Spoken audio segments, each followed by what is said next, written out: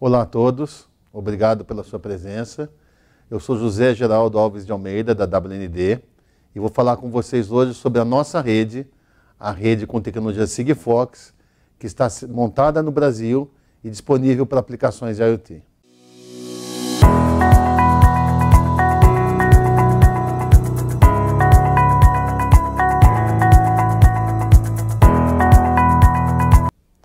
É, eu vou começar falando sobre o potencial de IoT ou de onde vão vir tantos dispositivos. E vocês vão entender o porquê dessa pergunta na sequência desses slides.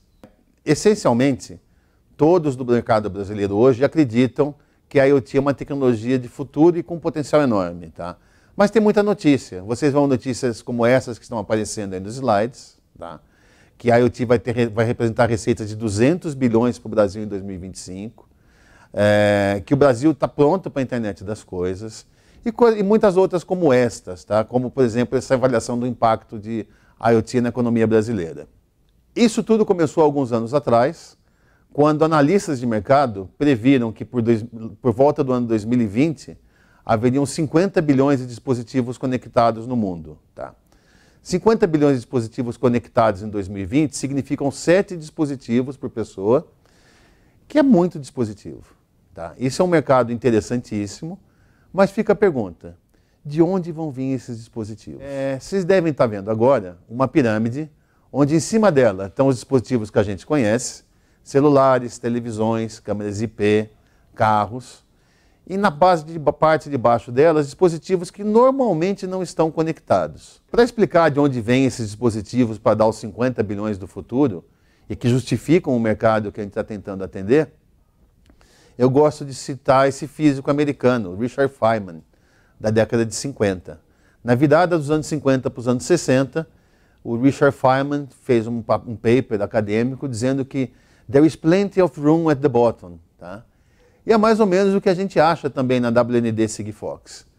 A gente acha que essa parte de cima, que já está com um oval cor-de-rosa em torno dela, já está conectada, está pronta, tem gente usando. E não importa que, tecnologia venha, eu só vou melhorar a qualidade do serviço ou eventualmente baixar o preço. Esse mercado não vai expandir brutalmente. Por outro lado, na base dessa pirâmide, onde está esse oval azul, estão os dispositivos que ainda não foram conectados. São coisas que ainda não se beneficiam da internet, não se beneficiam de Big Data, de Analytics, e que têm um grande potencial. É aí que a gente aposta as nossas fichas, que o mercado vai querer conectar.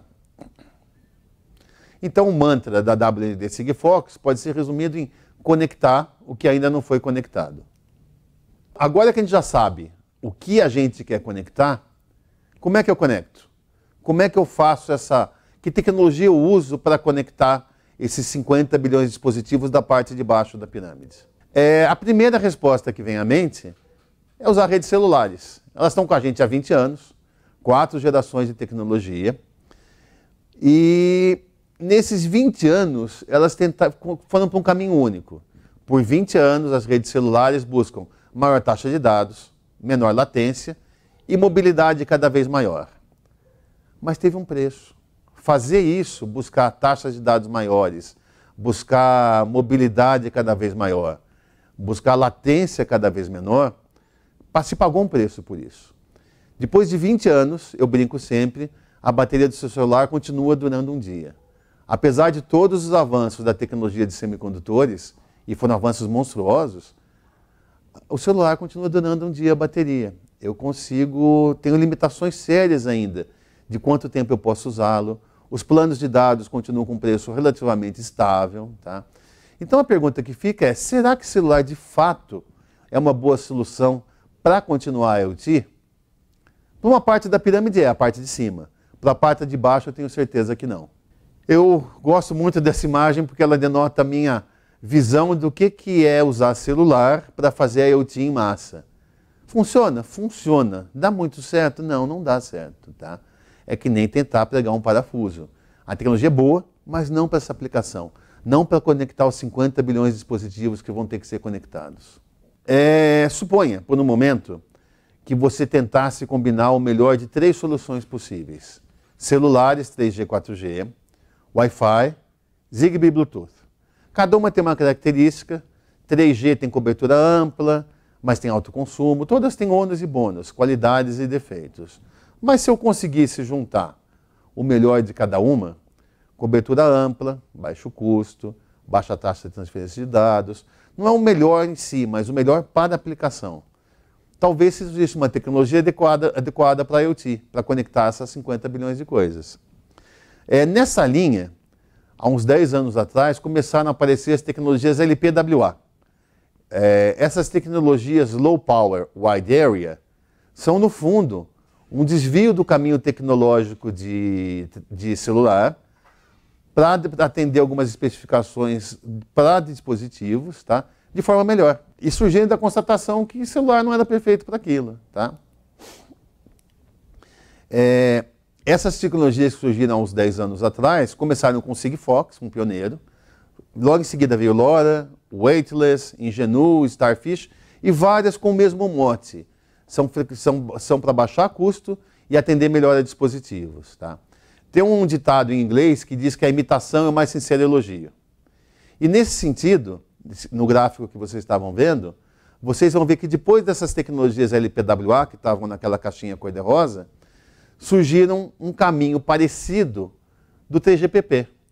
Então, essa, as tecnologias que vieram de celular agora, do 3GPP, como NB-IoT, LTE-KTM, essas coisas, no fundo são uma validação do modelo de negócio que a LPWA introduziu. Elas tiveram, eh, o 3GPP teve que adaptar o roadmap tecnológico, criar um desvio de menor, de menor taxa de dados para atender uma necessidade do mercado. É, como eu falei de LPWA e falei de Sigfox, eu vou mencionar muito brevemente Sigfox. Sigfox é uma tecnologia, é uma startup francesa com investimentos de várias companhias, Telefônica, SK Telecom, NTT Docomo, Intel Capital, Salesforce, para fazer LPWA. E a Sigfox tem um jeito particular de encarar como fazer isso, não tanto tecnológico, mas sim comercial. Tá? E eu vou explicar daqui a pouquinho. É, antes de explicar o jeito particular de Sigfox fazer essas coisas, eu vou colocar esse slide onde tem ali o quebra-cabeça de IoT. E na nossa visão da WND, que é a operadora Sigfox, e de Sigfox, o jeito de fazer, eu preciso de cobertura de rede, eu preciso de baixo custo dos dispositivos, baixo consumo de energia, porque esses dispositivos podem não estar ligados na tomada, e, e, e também um baixíssimo custo de operação, para poder conectar aquela base da pirâmide. E a gente acha que a gente resolveu esses, esses, quatro, esses quatro pilares de como fazer IoT. Tá? Na sua tela está um slide falando de preço de dispositivo. Essa caixinha prateada escrito isso é um modem Sigfox. Ele está disponível para compra. Não é feito pela Sigfox nem pela WND. A gente não faz nada, nem dispositivo nem aplicação. Mas é feito por parceiros. Esse aí é um parceiro da Coreia. E está pronto para comprar hoje. Ele custa 2 dólares e 80 FOB, lá na Coreia. Tem gente vendendo no Brasil a 9 por causa de impostos, mas está disponível agora. Você pode comprá-lo, montá-lo no seu produto e deixar o seu produto conectado. Tá? No mesmo slide, tem a comparação com o modem NB-IoT. O modem NB-IoT começou a aparecer agora, mas o primeiro que foi lançado foi lançado a 15 dólares, FOB. Então ele é pelo menos cinco vezes mais caro do, do que o que a gente tem agora para Sigfox. E esse modem vai cair de preço. Ele está 2,80 FOB hoje, mas vai continuar caindo de preço conforme a tecnologia avança.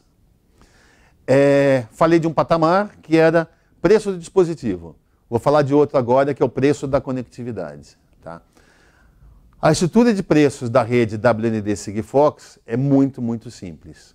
A gente cobra. Quanto mais mensagens você manda na rede, mais caro. Quanto mais dispositivos você tem, mais barato. E essa tabela mostra os planos possíveis. São 140 mensagens, de 2 a 140 mensagens, tá? É, com download adequado para a aplicação. E esse gráfico mostra o que eu acabei de falar. Mais mensagens mais caro, mais dispositivos mais baratos. Desconto por volume, essencialmente. Mas a, a conectividade mais barata da rede Sigfox é uma conectividade de um dólar por ano por dispositivo. Ou seja, um dozeavos de centavo de dólar, de, de dólar, perdão, um dozeavos de dólar por mês, você conecta um alarme, alguma coisa que tem que mandar duas mensagens por dia. A nossa conectividade mais cara, e todas essas conectividades o preço está com imposto, é 11 dólares por ano, menos de um dólar por, dia, por mês. Tá? São preços imbatíveis. Esse preço de 11 dólares é para mil dispositivos, você consegue comprar na web, essas licenças, tá? e esse preço cai drasticamente com o aumento de volume. E não, não há nada com esse preço hoje que te permita conectar um dispositivo à internet. É, continuando o, tri, o tripé, o quadripé, na verdade, as quatro pernas disso, baixo consumo de energia. É, aquele modem que eu mostrei, para transmitir os dados, os dados de, de duas mensagens a 140 por dia, eu calculei o consumo de energia e com 140 mensagens dia, aquele modem funcionaria por dois anos com duas pilhas AA, com apenas duas pilhas. Tá? No plano de duas mensagens esporádicas por dia, tipo um alarme, aquele modem conseguiria transmitir por 11 anos consecutivos essas duas mensagens por dia, tá? provando o ponto do baixo consumo de energia que é possível e está disponível. Eu vou deixar propositalmente um quarto ponto que é da cobertura para daqui a pouquinho, vão ter uns slides sobre isso, mas eu vou falar um pouquinho do que já está pronto, o que está disponível para você fazer a IoT hoje, tá? É, com base no que eu já falei. É, eu vou começar falando do que está pronto, mostrando uma rede de IoT. Vocês vão ver do seu lado esquerdo sensores, é, no meio uma rede de transporte com radiobases, com uma conexão segura e com uma nuvem onde as mensagens vão parar. E na ponta extrema, do outro lado, é uma nuvem de aplicação, onde você roda Analytics, Big Data, TensorFlow, o que você quiser. Tá? O que está pronto e que a WND colocou no Brasil em grande parte está semi-pronta, a gente já fez um bom pedaço do país, é o miolo. A gente entrega as radiobases, a nuvem para receber mensagens tá? e um protocolo para estudo se comunicar. Isso está pronto, é definido pelo nosso, pela nossa tecnologia escolhida, Sigfox, tá? e está disponível no Brasil. Eu mostrarei mapas de cobertura em breve. O que a gente quer agora, o que você tem que trazer para participar do universo de IoT é uma aplicação, uma que, que guarde os dados que você quer processar, que entregue esses dados para alguém, que entregue valor para alguém que você possa vender, e, e dispositivos. Tá? O outro lado da equação. A gente entrega o miolo, as duas pontas são dos parceiros. Tá? A gente não vai competir com os nossos parceiros, a gente não vai fazer loja na web, a gente não vai vender conectividade no varejo. O nosso modelo é de um provedor de conectividade de serviços de IoT. Aplicações e dispositivos são criação dos parceiros e é o negócio deles. A expertise em entender o, o negócio, o que o dispositivo tem que medir e que dado você tem que mostrar para o cliente é do parceiro. E a gente não vai se envolver nisso. A gente até ajuda na criação de dispositivos hoje, porque é parte da brincadeira. Criar dispositivo é importante e a gente colabora com isso. Tá? Mas o nosso modelo é simples, é o meio da rede, a conectividade. Tá? É, fazendo um pouco de brincadeira com um mantra de operadoras celulares de muitos anos, operadores de telecomunicação, na verdade, a WND Sigfox é proud to be done pipe. A gente não tem noção de vender valor agregado. A gente entrega um serviço muito bem planejado, um serviço bico, que é como se fosse rede elétrica ou água, tá? para todo mundo e as pessoas constroem o que quiser. Eu sempre brinco que a gente entrega, vende água. Se você acrescentar corante C2, gás carbônico e puser uma, uma tampinha preta chamada de Coca-Cola, é seu negócio, não é meu. O meu negócio é vender água. Isso que tem mais interesse no modelo de referência de IoT que o governo brasileiro adotou, é, essa é uma versão daquele slide que eu acabei de mostrar, com as redes, tá? onde eu mostro o que a gente faz nesse modelo de referência. De novo, a gente faz ali o miolo, o suporte a serviços e soluções, entrega uma rede. Tá? Embutido nesse miolo tá competências de gerenciamento de rede e competências de segurança. A gente tem um framework, um arcabouço para isso. E as aplicações e os dispositivos são do parceiro. Tá? É, agora talvez faça sentido voltar para aquela pirâmide que eu mostrei.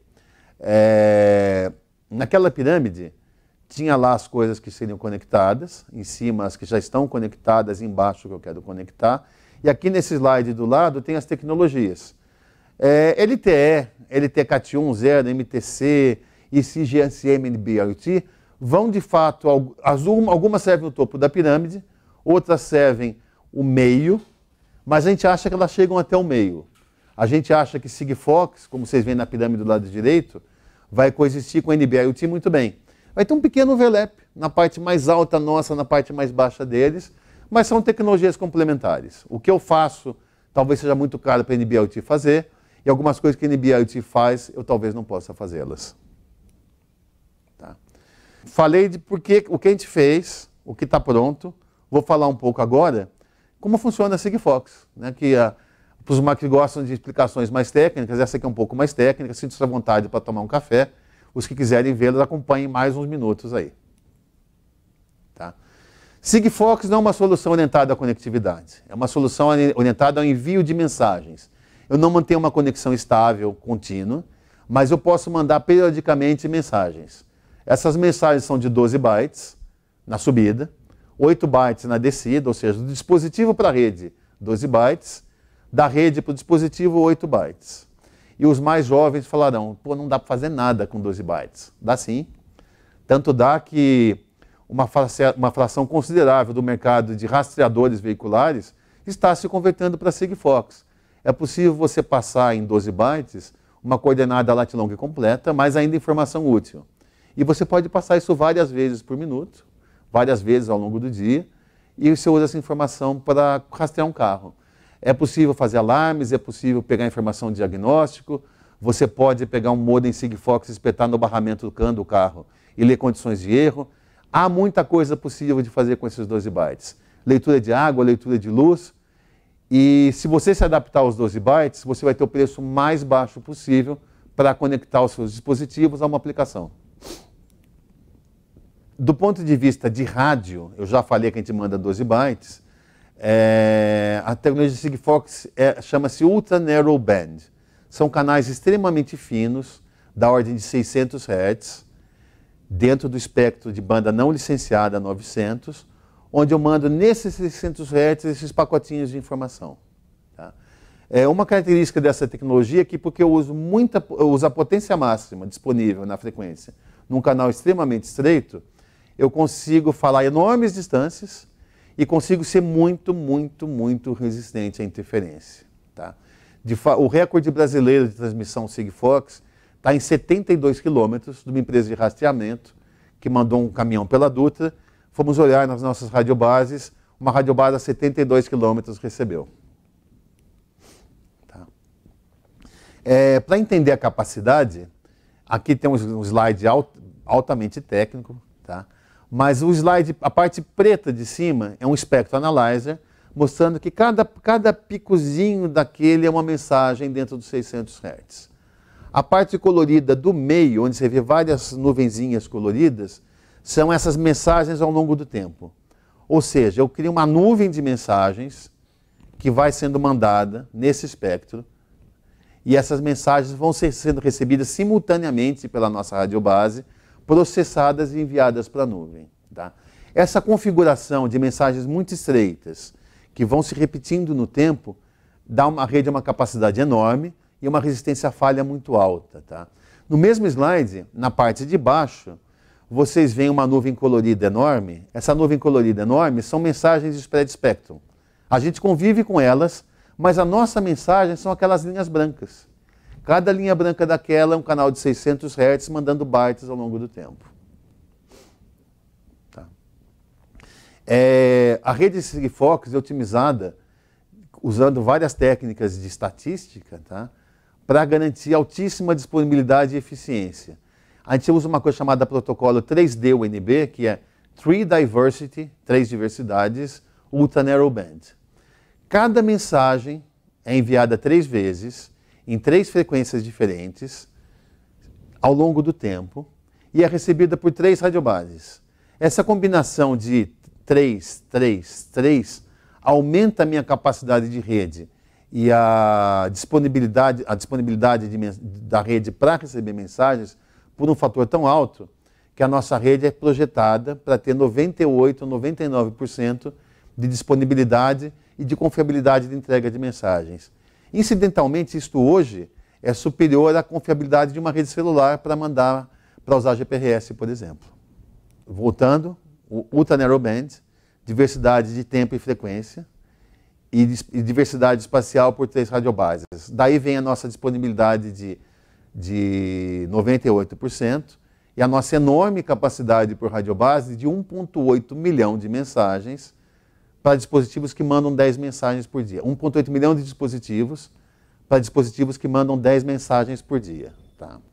É, para os mais técnicos, de novo, tem um slide mostrando o que se chama Link Budget. Link Budget é uma quantidade de dBs, uma quantidade de atenuação que eu posso gastar para que a comunicação ainda funcione. O Link Budget de Sigfox, e a, a conta está feita aí na tela, é 158 dBs. 158 dB está para, para, para par com as outras tecnologias, como a LTE, NB-LTE. A nossa, daí os nossos 72 km de recorde de transmissão. E é perfeito para uso no que a gente quer fazer. Tá? No mesmo slide, na parte de baixo, tem um pouco de matemática para entender como eu fiz a conta que 10 mensagens por dia por dispositivo me dão uma capacidade por radiobase de 1,8 milhão de dispositivos. Eu vou falar um pouquinho agora do ecossistema de dispositivos. Tá? Isso é muito importante. Eu já mencionei o preço do modem, já mencionei o preço do serviço. Ao contrário de celular, para IoT, como as aplicações são muito diversas, não vai ter um dispositivo mágico, quadradinho, com uma tela preta, branca no meio ou preta, tá? que faz tudo. Isso não vai existir para NB-IoT. Eu não vou poder encomendar para a Samsung ou para a Apple um dispositivo mágico que serve para todas as aplicações. Tá? Não haverá um dispositivo único para IoT. A IoT é um dispositivo por aplicação ou alguns dispositivos para algumas famílias de aplicação, mas serão muito mais e muito mais diversos do que são nas redes celulares hoje. Tá? É, é inútil você ter rede, você ter tecnologia, você ter preço, se você não tem dispositivo. E tanto o WND como o Sigfox gastaram uma energia considerável trabalhando com parceiros, queremos trabalhar com mais parceiros, gerando esses dispositivos. Aí no seu slide vocês estão vendo alguns dispositivos, sensores de presença, é, contadores de pulso, rastreadores, é, coleiras digitais para, para animais, vários dispositivos que conseguem usar a rede Sigfox e estão prontos para uso. Vocês podem consegui-los no mercado externo, esses aí. Tem gente já importando esses dispositivos para o Brasil e funcionam com a nossa rede. Quando, se vocês forem avaliar uma rede para IoT, procurem saber os dispositivos. Tem algum? Como é que eu desenvolvo? É fácil? É difícil? Senão não existe IoT. Sem dispositivo não é IoT. É, mas aquilo que eu mostrei é o ecossistema lá fora. É o ecossistema que está disponível já pronto, Sigfox. Sigfox tá? O que eu estou mostrando agora na tela são as empresas com as quais a WND e a Sigfox já trabalharam no Brasil, são alguns dos nossos parceiros, e que são design houses, empresas de hardware, empresas fazendo dispositivo, parceiros de aplicação, empresas de rastreamento, e que já têm alguma coisa pronta ou estão preparando alguma coisa pronta para uso com a rede Sigfox. A nossa rede, WND Sigfox, é uma rede global. O que vocês estão vendo na tela são os países cobertos por Sigfox hoje. Na contagem de hoje, são 34 países que têm rede Sigfox. Tá? E as operadoras é, Sigfox. No modelo da Sigfox, só há uma operadora por país. A WND, a empresa que eu represento, é operadora da América Latina, México até a Patagônia e do Reino Unido. Tá? Na Alemanha, na França e na Inglaterra, a própria Sigfox opera. No Japão, por exemplo, a Kyocera e assim vai. Mas cada país tem uma operadora é exclusivo e todos esses países funcionam com Sigfox. E quando eu falo que é uma rede global, não é só a disponibilidade de rede. Aqueles modems que eu mostrei, os mais novos, já são capazes de falar em qualquer país, nas quatro regiões que a Sigfox dividiu do mundo, que são as quatro frequências de SM, é 868, 902, 920. Então, um dispositivo feito para a rede Sigfox no Brasil funciona nos Estados Unidos até a Patagônia, na Nova Zelândia e na Austrália. Se o modem que você escolheu for o correto, ele pode mudar por software para Europa e Japão. Tá? E nesse slide que vocês estão vendo, vocês devem estar se perguntando o que será aquela lista enorme do lado direito. Aquela lista enorme do lado direito são as frequências, as 71 frequências de LTE, de NB-IoT. Então, num sentido, a rede Sigfox é tanto é global, quanto é mais fácil de fazer roaming do que uma rede LTE, é, LTE NB-IoT. São 71 frequências com diversas variações num modem LTE NB-IoT. Tá? Um modem Sigfox tem que atender a quatro frequências e o roaming da rede é automático. Os acordos já feitos, partes do contrato das operadoras com a Sigfox, é, fazem com que, se você pegar um dispositivo no Brasil e levar para os Estados Unidos, esse dispositivo vai funcionar e nós nos acertamos entre nós quem recebe de que jeito. Você paga uma vez num lugar, o dispositivo funciona no mundo inteiro. Voltando à WND, a gente já tem nesses países que estão coloridos: Brasil, México, Colômbia, Argentina.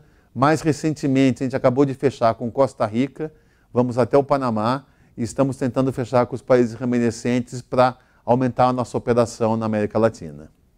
Tá? É, de fato, embora eu já mencionei os países que a gente cobre hoje, a meta da WND é cobrir 20 países até o final de 2019. É, 85% da população da região até o final de 2019, 500 milhões de pessoas. A WND vai ser a primeira rede pancontinental entre é, UK, América, América Central e América, e América do Sul de IoT. E essa rede está acontecendo nesse exato instante. A gente cobre esses países que eu já mencionei. Nesse momento, a gente cobre 150 milhões de pessoas, tá? dos quais 60 milhões no Brasil. A, a, grandes regiões, mais do que 12 regiões metropolitanas do Brasil estão cobertas operacionais com rede da WND e 100 cidades dentro dessa região estão cobertas funcionando. Tá?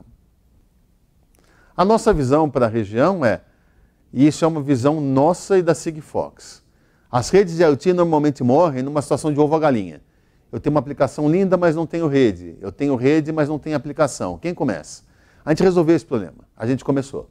A gente vai colocar rede, mesmo antes de ter aplicação.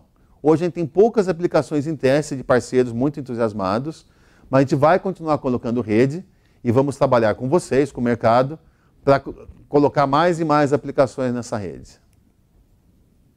Tá? E para provar o que eu falei de cobertura, está em um mapa de cobertura. Vocês vão ver uma mancha vermelha em São Paulo enorme. A gente cobriu São Paulo, cobrimos toda a Anguera Bandeirantes até Campinas. Cobrimos de São Paulo, pegando a Dutra, até o Rio de Janeiro, passando por Dutra, Serra das Araras, Avenida Brasil, é, Baixada Fluminense, indo até o Rio. Isso tudo está coberto. Tá? Cobrimos Jaraguá do Sul, Florianópolis, São José dos Pinhais, Curitiba. Tá? O interior do Mato Grosso tem radiobase da WND, por um contrato global da Sigfox, a gente colocou radiobase em Nova Mutum, no meio do Mato Grosso, no meio do cinturão de soja, milho, algodão. E essa radiobase a gente vai descer até de Nova Mutum, passando por Sorriso, Sinop, Primavera do Leste, Rondonópolis, até a Barra do Garças. Tá?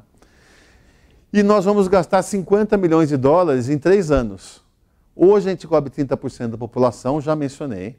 100 cidades, mais que 12 grandes centros metropolitanos e até o final deste ano, a gente teve que cobrir 50% da população brasileira, mais de 100 milhões de pessoas, portanto, mais de 500 cidades, todas as capitais eh, de estados brasileiros cobertas, e vamos ter uma rede muito boa para o agronegócio no Mato Grosso. Tá? Até o final de 2018, 80% do PIB brasileiro vai ter cobertura Sigfox da WND.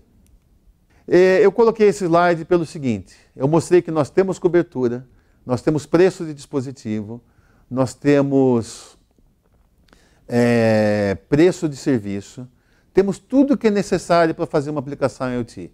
Damos suporte à criação de dispositivos. Então a mensagem final que eu deixo é: não há motivo para esperar para ter aplicações IoT. Não há por que esperar uma tecnologia nova e melhor. Não há por que esperar a próxima rodada tecnológica do 3GPP. Há uma rede nacional, mais do que nacional, global, funcionando, com gente disposta a, disposta a ajudá-los, pronta para uso. Então, o momento de fazer aplicações IoT é agora, é já.